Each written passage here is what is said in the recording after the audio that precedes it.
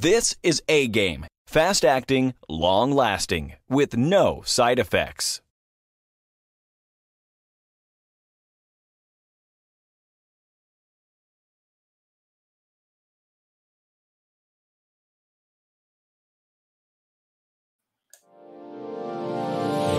Hey, all my Crimsonites, and welcome to the Crimson Cure channel, where we embrace our femininity, increase our womanly values, and celebrate our brothers. So join me on our feminine journey to learn, heal, and grow. Hey there, my Crimsonites, and welcome to the Crimson Cure channel. I'm your host, femininity coach, and author of The Crimson Cure, and this is my perspective. So, what are we talking about? We're talking about why good women uh, defend the sisterhood, okay? Because there is a sisterhood defense force, and it's not all comprised of women who would regard themselves as gynocrats, as feminists, as those so-called bad black women. Um, there's actually a component of that defense force that would consider themselves good black women. Black women that don't engage in certain types of behavior that I speak about on my channel and certain types of mindsets that I speak about on my channel, yet they feel the need to defend certain behaviors or feel triggered by certain types of things that I point out, and the and the triggers differ for each woman. It, it could be a different trigger, but this is sort of why. Let, let's let's go over why there's a defense of the sisterhood and its crazy behavior by so-called good women that don't engage in that behavior, that supposedly don't condone that type of behavior. Um, the first thing that we want to talk about with that is what you're defending. See, a lot of times these good black women are defending parts of themselves and they are defending the women in their family, mainly their moms. In their minds, they're defending these women. And it's really key, first of all, to talk about the defense of your mother and the defense of the women in your family that you care about and that you value regardless of the fact that these women might actually be a part of the gynocracy that's got you messed up, you know, that taught you these lost values that you have lived your life on, made certain decisions on, and then had to climb your way out of this certain mindset. Okay. They're the ones that set you back. But yet you still feel the need to defend them because you love them. And here, I'm not saying don't love your mom if you love your mom. If you got a relationship with your mom, I'm not saying you shouldn't have a relationship with your mother. Like, that's not what I'm here to say. Because we're not here to talk about hating any particular black woman at all anyway. We're what what we hate and what we talk against is the mindset. We talk against the behavior.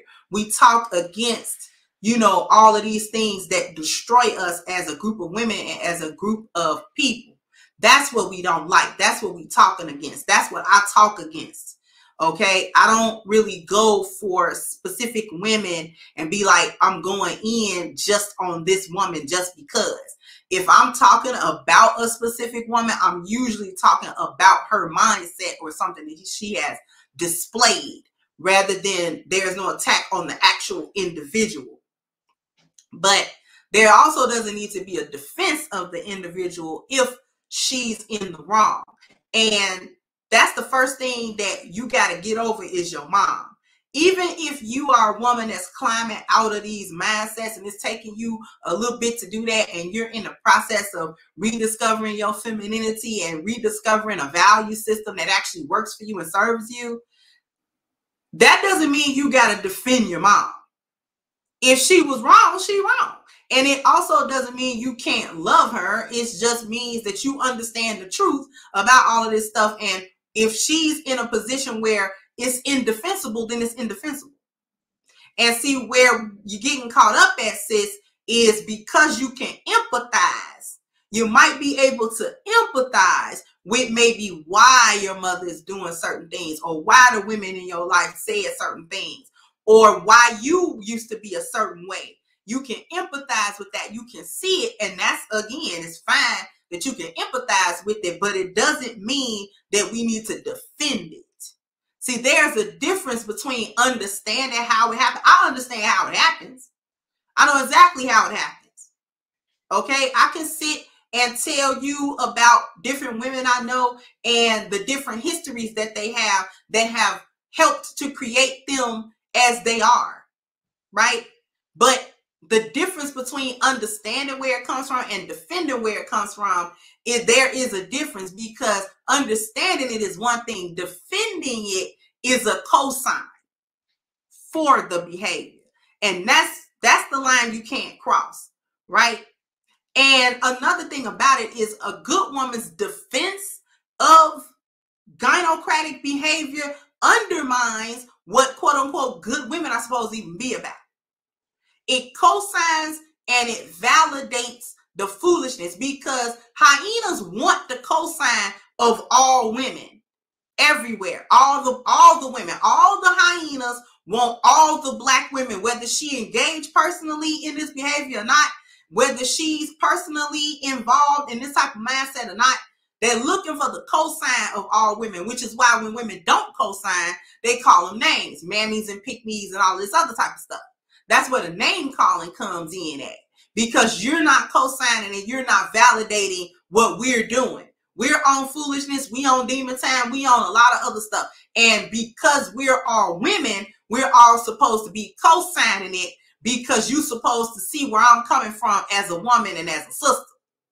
Never mind that I'm doing something crazy and it doesn't need to be co-signed. It actually needs to be called out, not co-signed. It needs to be called out and brought out, not validated. Right? So when good women, women that gynocrats know are not gynocrats, actually co-sign gynocratic behavior that validates it and keeps it going. It allows it to persist unabated and say, well, all the women think like this. All the women agree with this. So we're going to keep doing this because all the women have fallen in line. Even the so-called good women do this. Even the so-called good women, even though she might not do it in her life, she secretly agrees that this is the correct way. So we get validated by it. And anybody that comes along to say, no, no, no, no, this is not what we're supposed to do. This isn't what we're supposed to be doing as women, then that gets shot down. So really, you're shooting yourself in the foot.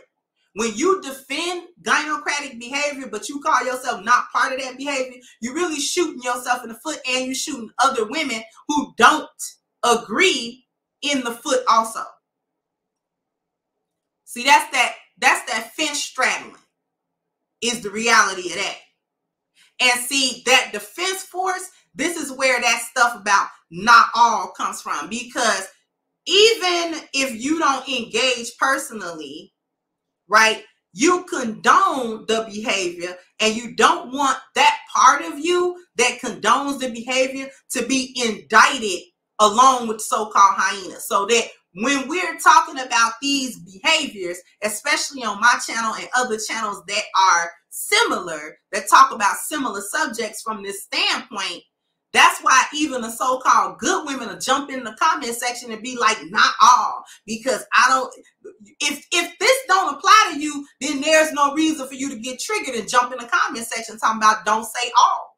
Because first of all, didn't nobody say all. Didn't nobody say you but a hit dog always holler.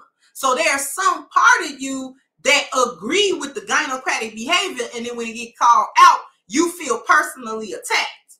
Like somebody said something about you. Somebody said something about you and your mama. Like ain't nobody talking about you and your mama, sis. And if I am inadvertently talking about you and your mama, you need to look within. Okay? Instead of instead of jumping up all over social media trying to defend yourself and nobody attack you. That's where that defense come from. What you what you can't say all because me and my friends or me and you know i'm saying my sisters or whatever we don't engage in that okay good that's good for you so don't engage in it but don't defend it either it doesn't need defending the indefensible behavior does not need to be defended by, especially by women that say they don't engage, they don't condone, and they don't see any. You see what I'm saying? And since the, the women that I'm talking about might have been you a year or two ago, it might have been you yesterday. Okay, fine. But you don't need to defend that. Because indefensible destructive behavior is just that. And if you call yourself a good woman and you still getting triggered by the stuff that I'm talking about on this channel, understand that you have to confront the gynocrat within you. That's what that really is saying. There's a part of you that agree with this and you feel offended. And this isn't an attack. This is a word of caution. This is a word of warning. Okay? It literally is about if it don't apply, let it fly. But if this triggers you, if these things trigger you, then it's triggering you for a reason. And it would behoove any of us that if we get triggered by a woman talking about gynocratic behavior and and saying that it's negative and that we don't need to engage in that behavior, then you need to check the little gynocrat within. There's a little gynocrat in there that's getting mad, okay, and doesn't want to be called out, doesn't want to be held accountable, doesn't want their feet held to the fire about any of this. Right? So it has to be understood because we have grown up under this lost value system. You grew up here, especially if you grew up here, you grew up under the lost value system. There's some part of you that's gynocratic. Okay, good woman or not, if you even if you are a good woman, right? There's still parts of us that grew up underneath this, and so there are parts that are gynocratic because we grew up in a gynocratic society. It was taught to you from birth uh, until before, right when you can understand things. That's when you start absorbing these types of thought patterns, feminism, feminist ideas, all these other sorts of things that have worked their way into the fabric of how you think and behave and interact. So, what these lessons, what my content is designed to do, is also to help the women discover that part of themselves so you can work on it, not so you can get mad. Because we we good when whatever's being said don't hit close to home. But when it start hitting close to home, then some of us like to get upset. Some of us like to be like, oh well, what's going on. Like, why is she talking about that part? That might be the part that need to be discussed. I went through this process, so I know what I'm talking about. The removal of all of the different pieces of being a gynocrat. You may not overall, you may not agree with that mindset, and that's an excellent first start. But then there's also these little details and these little pieces that have worked their way into the fabric of us. And then once we run up against that, we a lot of times you get triggered by it and be like, wait, wait, wait, wait, wait, wait, wait, wait. I kind of agree with that though. Why do you agree with it? Why are we finding parts of the gynocracy that we actually like? Because that part is in us. So we have to actually work on that part, the part you got triggered by, that's the part that need to work. That's the part that needs to be re-examined underneath the microscope of the 10 life values, right? To see where that's at so that we can actually start working on that part of us. And that's where this constant improvement actually come from. That's that's how we're supposed to be doing that. That constant state of improvement to constantly be working on that. Stop defending the sisterhood. If you call yourself a good woman and you don't not involved with the sisterhood, stop stop being a defense force for it. Because that's how they that's one of the ways they have thrived and gotten to the point that they've gotten to where that's basically our culture because good women covered them. All right. Sound off in the comment section. Let me know what you think. Like, share, subscribe to the channel if you have not. Once again, I'm your host of Crimson Cure, and this was my perspective. Bye bye, Crimsonites. Hey guys, please like, share, and subscribe to the channel and hit the notification bell. And if you've got more to say on the topic, leave a comment down below. Also, don't forget to support our sponsor who so graciously supports this channel by clicking the description box and the link for A Game at agameherbal.com. You can go ahead and get a 10% discount off of your next purchase using the code Kendra10. This has been yet another Crimson Cure production, and I'll catch you guys on the next one.